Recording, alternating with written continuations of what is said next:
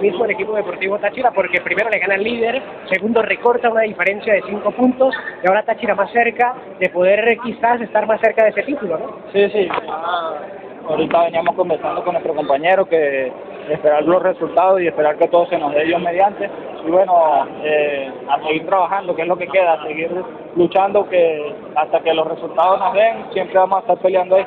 La historia dice que José David Contreras es el arquero más joven del arco de Táchira en todo su en todo su transcurrir en la historia. José David, ¿cómo manejar este aspecto?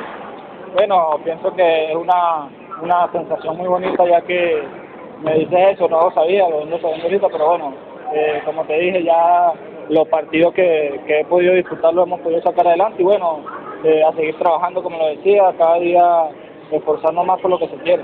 Y otro dato importante, cuando José David Contreras estaba bajo los tres palos de Táchira, el equipo aún no pierde, ¿no?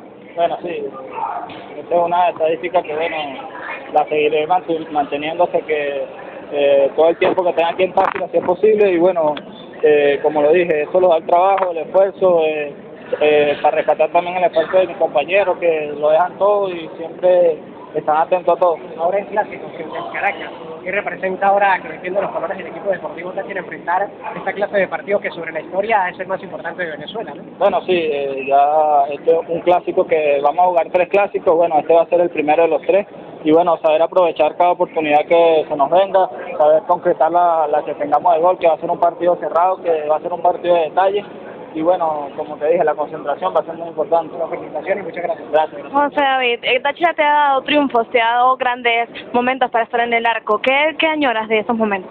Bueno, primero en lo grupal pienso que somos un equipo muy unido, pienso que cada uno de mis compañeros eh, jalan para el mismo lado y bueno, aunque el torneo no está como nosotros queremos, pero bueno, Táchira siempre va a pelear, siempre va a estar ahí, eh, mientras los resultados se den, siempre vamos a estar peleando por eso. Vale, José David, van ahorita lo que es Copa Venezuela, van a jugar tres partidos, que sería como un clásico y Caracas, bueno, gana y se coloca de líder. ¿Cómo enfrentar esos tres eh, partidos? Bueno, primero, primero que nada son tres partidos que se nos van a venir eh, seguidos con lo que va a ser un clásico y bueno, ya todo el mundo sabe lo que representa un clásico, todo el mundo sabe lo que es jugar un clásico. Eh, a mi corte ya no he tenido la oportunidad de jugarlo, pero ya, ya se aproxima el primero y bueno, esperemos que todas las cosas nos salgan bien. Ya que hablas de tu edad, José David, bueno, eres uno, como dijo un compañero ahorita de campeón, eres uno de los arqueros más jóvenes que ha tenido Táchira. ¿Cómo enfrentas ese momento? Bueno, como lo decía, eh, ahorita me vengo enterando y bueno, eh, orgulloso, orgulloso de, de poder estar acá en este equipo tan grande y, y agradecerle a mis compañeros, agradecerle a Breiner que me ha enseñado mucho, que cada día está insistiéndome, dándome consejos y, y trataré de aprovecharlo el mayor tiempo posible.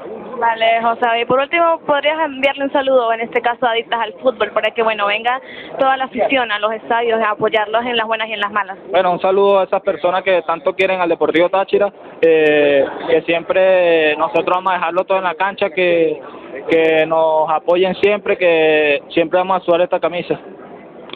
Este fue Adictas, José David Contreras para Adictas al Fútbol.